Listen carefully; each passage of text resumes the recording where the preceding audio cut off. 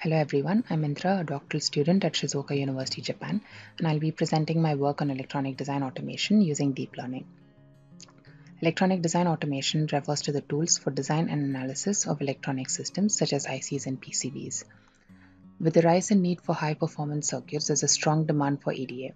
However, common problems with EDA tools are due to high dimensionality, high nonlinearity, and discontinuity of the problem.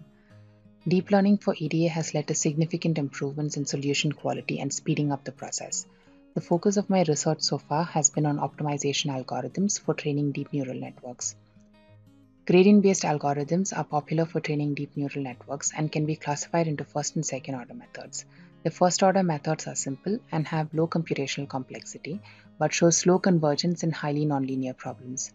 On the other hand, despite the high computational cost, second order methods show faster convergence. The focus of my research is on the Nesterov's accelerated quasi-Newton method to further accelerate convergence speed while maintaining a low computational cost. On the application front, I focus on electronic design automation to provide faster and reliable solutions using deep learning.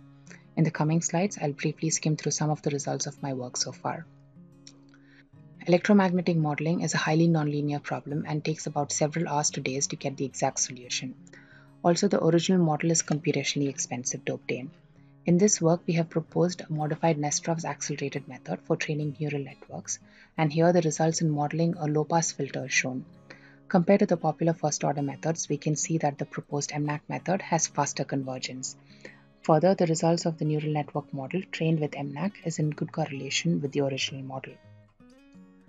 Analog circuit design optimization is complex mainly due to the large search space and complex relations that exist between the design parameters and the circuit performances. In this work, we take an example of a two-stage op-amp that has 8 MOS transistors and a coupling capacitor whose optimum parameters for the desired design specification is obtained using the DNN model. Our proposed AMNAC and MNAC methods show lower performance errors compared to the other methods. One of the major challenges in supervised learning is the availability of labeled dataset.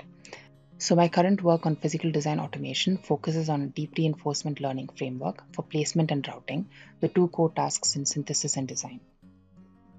As a preliminary work, a deep RL framework with double DQNs trained using an adaptive stochastic NAC method was proposed for global routing of two-pin nets. The results show promising scope compared to the conventional A-star path search method and DRL models trained with popular first-order methods. In the future, I intend to work towards building a robust RL framework that can give faster and reliable placement and routing solutions for larger netlists. Thank you.